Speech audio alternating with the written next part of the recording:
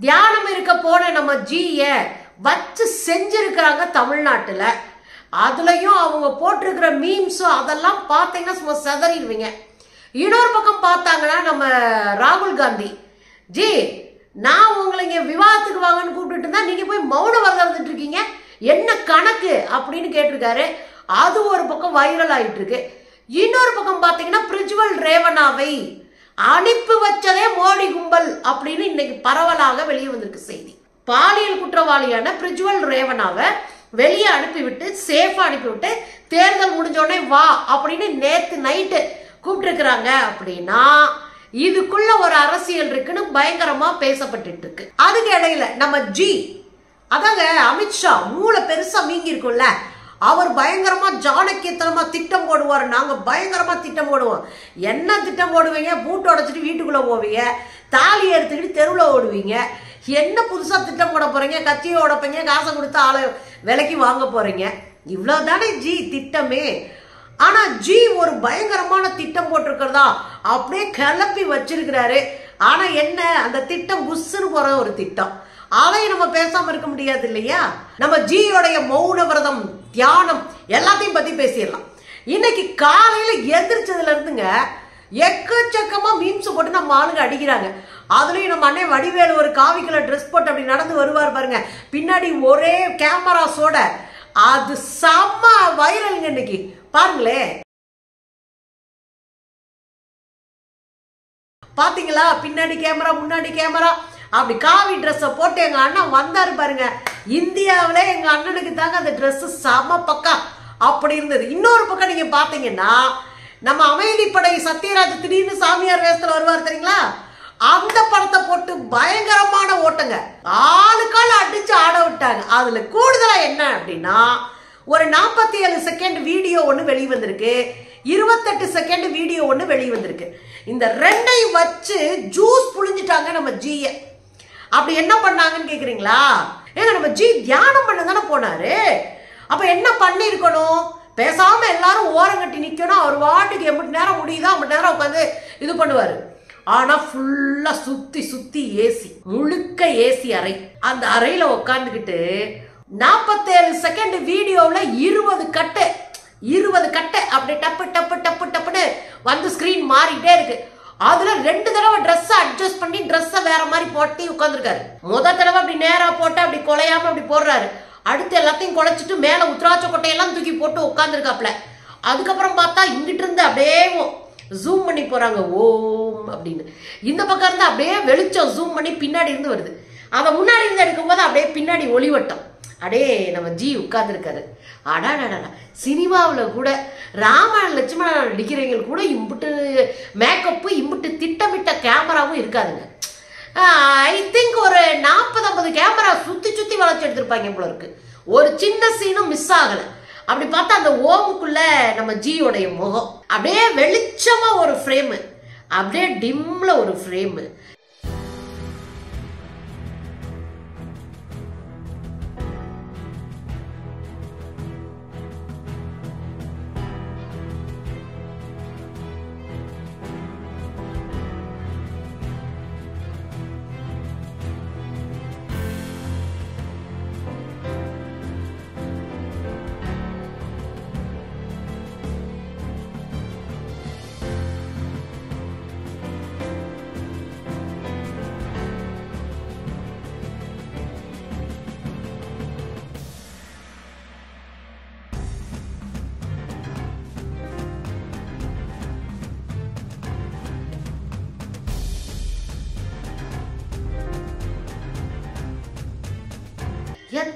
Frame அப்பா பாப்பா பாப்பா ஜி எல்லாம் நடிக்க போனால் அமிர்தா பச்சன்லாம் பிச்சை வாங்கணும். ஏன்னா ஜி வடநாட்டுக்காரர்ல ஏன்னா நம்ம அண்ணாமலையை சொன்னால் சிவாஜியை சொல்லலாம். ஜி நடிக்க போனார்னா அமிர்தா பச்சன் பிச்சை வாங்கணுங்க. அந்த நடிப்பு. அந்த கேமரா வச்சு சுற்றி சுற்றி எடுத்து அந்த கேமராவை கொண்டு போன ஆட்களுக்கு தனியான பெரிய அடுக்குமாடி குடியிருப்பா இருக்கிற ரெஸ்டாரண்ட்டு. அங்க தங்க வச்சிருக்கிறாங்களாம். அங்க ஏழு அடுக்கு பாதுகாப்பு. முப்படைகளும் இங்கதான் இருக்கான் முப்படைகளும் இங்கதான் இருக்கு. என்ன கதைன்னு பாருங்களே நம்ம ஜி இங்க தியானம் இருக்க போறாருன்னு நினைச்சா ஷூட்டிங் நடத்தி அதை வச்சு பரப்புரை பிரச்சாரத்தை பண்ணிட்டு இருக்கிறாரு. அதுல என்ன தெரியுங்களா? அண்ணாமலை கூட உள்ள வந்து ஸ்கோர் பண்ணிடக்கூடாதுன்னு கட்சிக்காரனை கூட வரவிடல. அப்ப என்னன்னா இது கட்சி இஷ்யூவா மாறக்கூடாது. இது கட்சிக்கான பணியா போயிருக்காருன்னு மாறக்கூடாது. அவர் ஆன்மீக நிமித்தமாக இங்கே வந்திருக்காருன்னு. ஜி உங்களுக்கு ஒரு உண்மை தெரியுமா? உங்க வாரணாசி தொகுதியில மக்கள் எக்கச்சக்க கடுப்புல இருக்காங்களா உங்க மேல? நானே கடவுள்னு சொன்னதுக்கு அப்புறம் நீ வாயா வந்து பாப்போம் அப்படின்னு உங்க மேல கொடும் கோபத்துல இருக்கிறாங்க. இன்னைக்கு ஒரு வீடியோ பார்க்குறேன் வரிசையா மக்கள் போரிடம் வர்றதெல்லாம் மோடியை கடிச்சு துப்பிட்டு இருக்கிறாங்க. அப்ப ஒரு விஷயம் என்ன தெரியுங்களா? வாரணாசிலே நம்ம ஜி பாஸா ஃபெயிலான்னு ஓடிக்கிட்டு இருக்கு. ஏன் வந்து திடீர்னு இந்து தர்மத்தை காப்பாற்றக்கூடிய தியானத்துல ஆழ்ந்தாருன்னா இங்க அவருடைய சீட்டை இங்க புட்டுக்க போகுது. இந்த சூழ்நிலையில தான் கர்நாடகம் முழுதும் இன்னும் பயங்கரமான விஷயம் வெடிச்சிருக்கு. பிரிஜுவல் ரேவண்ணா முன்னூறு பெண்கள் மூவாயிரம் சீடி வச்ச அத்தனை விஷயத்தை அவமானமா இருந்துச்சு அதை பார்க்கவே. ஒரு பாலியல் குற்றவாளி அறுபது வயது பெரியவங்களை கூட விடாம கட்டாயப்படுத்தி வல்லுறவு செய்த ஒரு குற்றவாளி அவரை பத்திரமா அனுப்பிவிட்டது யாரு? மோடி. மோடி குரூப் அனுப்பியிருக்கு. அதனாலதான் விசாவே இல்லாம டிப்ளமேட்டிக் பாஸ்போர்ட்னு சொல்ற எம்பிகளுக்கான ஒரு முக்கியமான பாஸ்போர்ட் விஷயங்கள்லாம் செட் பண்ணி கொடுத்து அவங்க எந்த நாட்டுக்கு போகலாம் விசா இல்லாம. அப்படியான ஒரு பாஸ்போர்ட்ல ராத்திரியோட ராத்திரியா இந்த பாலியல் குற்றவாளி பிரிஜ்வல் ரேவண்ணாவை அனுப்பி கரெக்டா தேர்தல் முடிகிற வரை நீ வரக்கூடாது. யார் என்ன சொன்னாலும் நீ அங்கேயே இரு.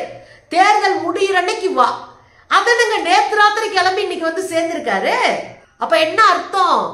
தேர்தலுக்கு முன்னாடி பாலியல் குற்றவாளின்னு தெரிஞ்சும் சீட்டு கொடுத்துட்டு அதுக்கப்புறம் பாலியல் குற்றவாளியை பாதுகாப்பதற்காக டிப்ளமேட்டிக் பாஸ்போர்ட்டை கொடுத்து பத்திரமா அனுப்பிட்டு தேர்தல் பிரச்சாரம் எல்லாம் எல்லாம் ஓஞ்ச பிறகு பத்திரமா கூட்டு வந்து வீட்டில் இறக்கி விட்டுருக்காரு.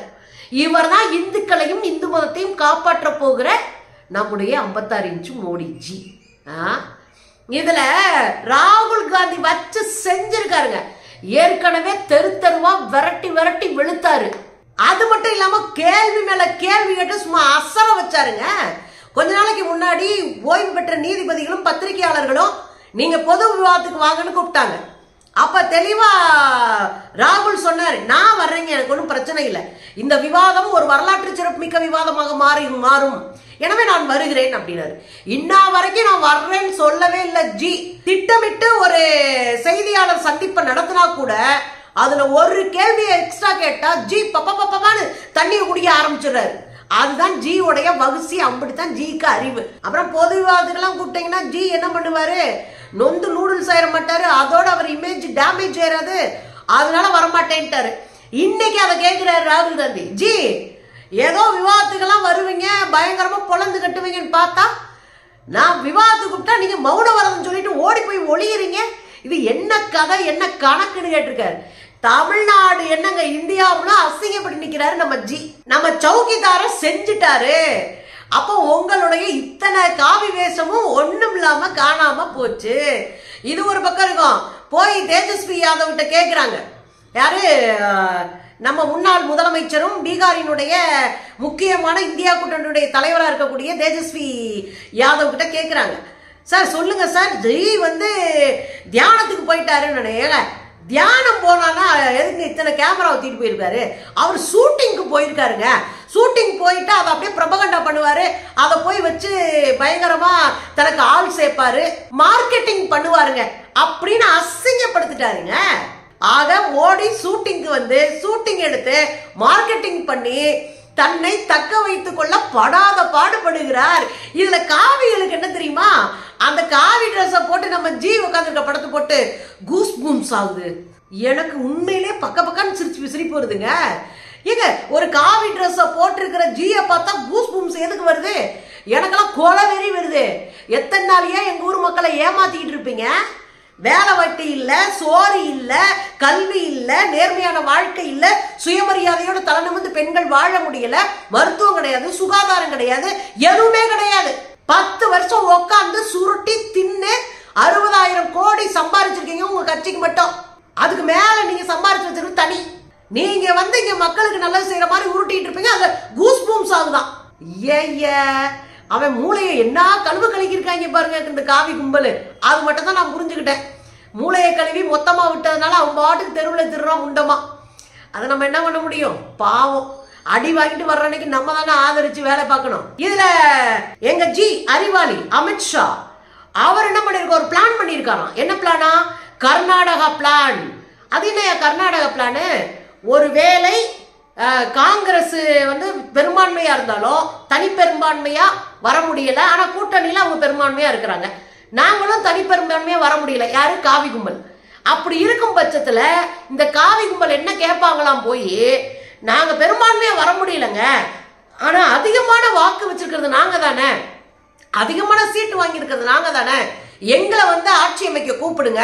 நாங்க எங்களுடைய பலத்தை நிரூபிக்கிறோம்னு சொல்லி ஆட்சி அமைக்க ஒரு டைம் கேட்டுருவாங்களாம். அந்த டைம் கேட்டதுக்கு அப்புறம் இங்க இருக்கிற கட்சிகளை உடைக்கிறது தனியா நின்று ஜெயிச்சவங்களை கூப்பிடுறது அப்புறம் இந்த வேலையெல்லாம் பார்த்து எப்படியாவது ஆள் சேகரிச்சு எப்படி கர்நாடகத்துல ஆட்சியை மாத்தினாங்களோ அது மாதிரி மாத்திடுவாங்களாம். யாரு? நம்ம அமித்ஷா ஜியோடைய முக்கியமான திட்டமிடல்.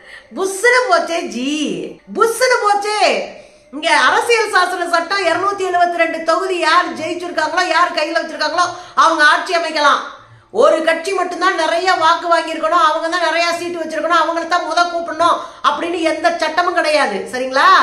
நீங்க நூத்தி எழுபது வாங்கியிருக்கலாம் இருநூத்தி அறுபது கூட வாங்கிட்டு போங்க தனியா. ஆனா 72 ரெண்டு இல்ல இருநூத்தி எழுபத்தி ரெண்டு மொத்தமா உங்க கையில இல்ல. கூட்டணி கட்சிகளோட சேர்ந்துன்னு வச்சுக்கோங்க. நீங்க ஆட்சி அமைக்க முடியாது. இந்த சிம்பிள் லாஜிக் கூட தெரியல. அப்புறம் கட்சியை உடச்சி கூட்டிகிட்டு போகிற அளவுக்கு இன்னைக்கு யாரும் பலவீனமாக இல்ல ஜி. கட்சிகள் எல்லாம் ரொம்ப ஸ்ட்ராங்காக இருக்கிறாங்க. அதுவும் இந்தியா கூட்டணி மொத்தமாக உட்காந்து பக்காவாக பிளான் பண்ணி அரங்கேறிருக்காங்க. அப்புறம் உங்களுக்கு ஒன்று சொல்லவா? கர்நாடகா பிளானை பற்றி தானே பேசிட்டு இருக்கீங்க. அதுக்கப்புறம் ஒரு கர்நாடகா பிளான் ஒன்று இருந்துச்சு ஞாபகம் இருக்குங்களா? மொத்தமா வலிச்சு உங்களை தெருவுக்கு அந்தாண்ட எரிஞ்சுமே. விந்திய சாத்புரா மலைக்கு வடக்க எரிஞ்சிட்டு மொத்தமா க்ளோஸ் பண்ணி தென்னிந்தியாவில் கேட்டை போட்டோமே ஞாபகம் இருக்குங்களா?